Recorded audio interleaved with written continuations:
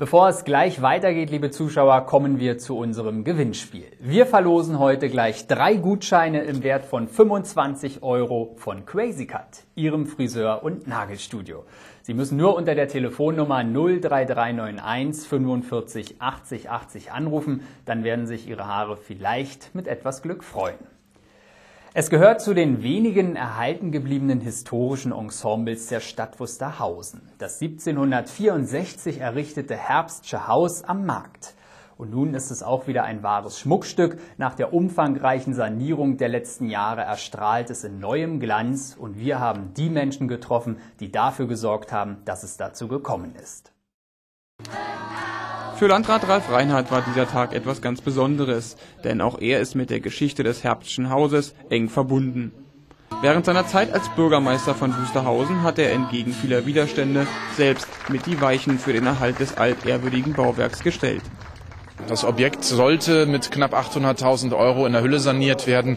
Das hatte für die inhaltliche Ausgestaltung für die Komplettsanierung des Objektes von vornherein nicht gereicht. Deswegen gab es zu der Zeit Gespräche mit dem Kulturministerium, mit dem Infrastrukturministerium, ob man hier eine richtige Investition tätigt, quasi auch inhaltlich was ermöglicht, das Museum ermöglicht. Es wurde ermöglicht und das Ergebnis kann sich nun sehen lassen. Zuvor hatte allerdings auch Reinhards Nachfolger Roman Blank während der Bauzeit allerlei Kämpfe zu bestreiten. Wir hatten natürlich viele Auseinandersetzung, Diskussionen mit der, vor allem mit dem Denkmalschutz bezüglich Farbgestaltung, ähnlichem. Es wird ja bei jedem Stück geguckt, ist es erhaltenswert, bedürftig. Aber wie man heute sieht, die Diskussionen haben sich gelohnt. Ich habe es schon gesagt, also wirklich selbst die Farbnuancen sind alle sehr ausgewogen und es ist ein wunderschönes Gebäude geworden. Gelohnt haben sich aber auch die teils zeitaufwendigen Denkmalschutzdiskussionen. Obwohl das Gebäude zuvor in einem desolaten Zustand war, ist es so gelungen, einen Großteil der ursprünglichen Gebäudesubstanz zu erhalten, sogar im Innenbereich.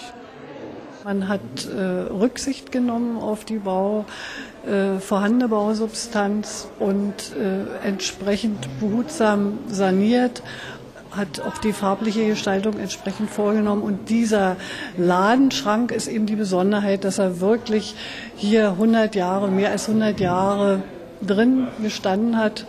Alle Verkaufsstrategien, alles Geld, was im 20. Jahrhundert mal in Deutschland Gültigkeit hatte, ist über diesen äh, Ladentisch gegangen. Und wir haben ihn wieder, Mitarbeiter des Museums, haben ihn wunderbar restauriert. Die zahlreich erschienene Politprominenz machte sich derweil schon Gedanken über das danach. Schließlich muss das Gebäude nun noch mit Leben gefüllt werden. Es geht um Denkmalschutz, es geht aber auch darum, das Haus muss ja danach genutzt werden. Ein Haus lebt von der Nutzung und ich finde das wunderbar. Bibliothek, die Kinder freuen sich schon drauf und das Museum gehört auch mit dazu. Wusterhausen ist eine sehr alte Stadt mit einer langen Geschichte und dazu gehört auch ein Stadtmuseum. Die Bibliothek ist bereits in Betrieb. Zu den anderen geplanten Nutzungen kann Bürgermeister Blank natürlich schon etwas mehr sagen. Wir haben vor, oben in der oberen Etage ein Museum einzurichten, ein Wegemuseum, also nicht eine bloße Heimatstube, sondern etwas Anspruchsvolleres. Und dann haben wir, es wurde jetzt gesagt, dass den alten Laden, Multifunktionsraum, äh, wo der Kulturverein sehr daran interessiert ist, dort viele Veranstaltungen durchzuführen. Frau Luni war jetzt schon hier und hat einmal ein Klavier gespielt, sie tut es gerade wieder.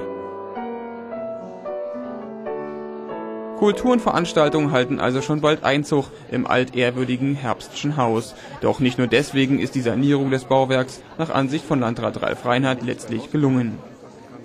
Es ist sehr viel Historie hiermit verbunden und in der Sichtachse für das Ensemble Markt eins, was einfach nicht hinwegzudenken ist. Und wenn hier eine Lücke klaffen würde, wenn hier was fehlen würde, wäre diese Ansicht des Marktes gebrochen. Und deswegen war es wichtig, dieses Objekt, so wie es jetzt saniert worden ist, herzurichten. Und ich glaube, Wusterhausen hat damit wirklich eine Aufwertung erfahren. Mit Engagement und Beharrlichkeit haben die Wusterhausener das stattliche Fachwerkgebäude inmitten der Altstadt wieder zu ihrem Denkmal gemacht. Es nun mit Leben zu füllen, durfte da nur noch eine kleine Hürde sein.